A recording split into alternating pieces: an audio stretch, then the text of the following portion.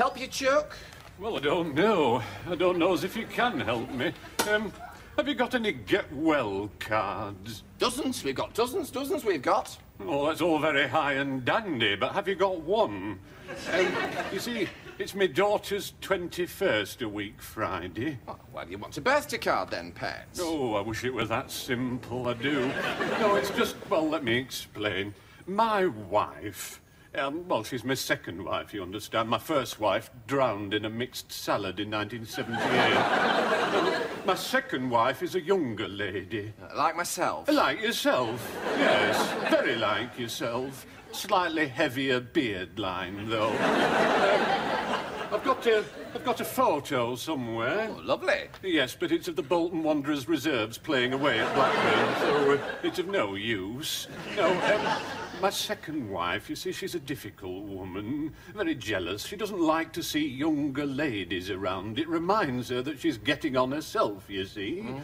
And as I say, it's my daughter's 21st Friday week. So that'll be her stepdaughter? Her stepdaughter, yes, that's right, yes, yes, yes, Well, you see, it'll get her all in a pother and remind her how old she's getting. Oh, well, it's never easy being a stepmother, is it? Well, no. that's right, mm. you see. And so mm. she'll have a spasm. She'll have a jealous spasm. A spasm? A spasm.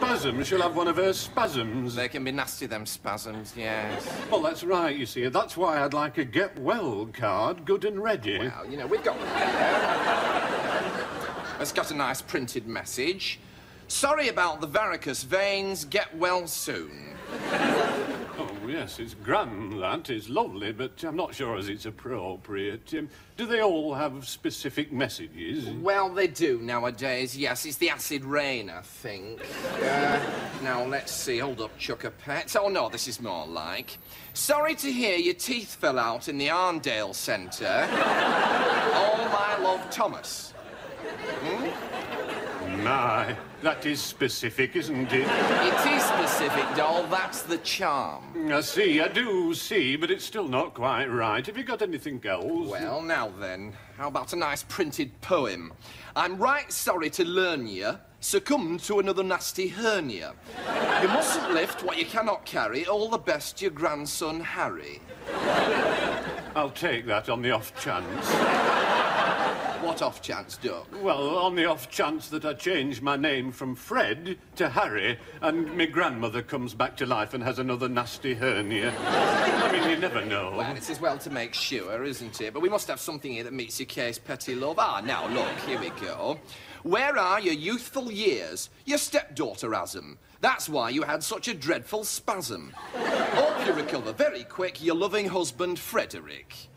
That's what you're after? Oh, what a pity.